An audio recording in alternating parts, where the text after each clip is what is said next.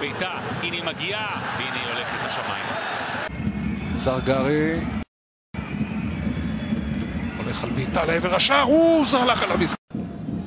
שוב זה שלו. זרגרי מאותה נקודה של פלקושנקו, אבל קצת פחות טוב. עדיפה מצוינת של משפטי. עכשיו הניסיון מרחוק, זרגרי!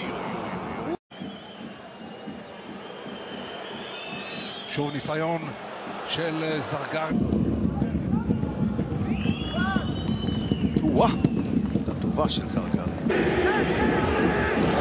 בית"ר כבר מחדשת ומבזבזת את זה עם כדור. טוסיניו צריך להסתובב, השער בצד השני, זרגרי!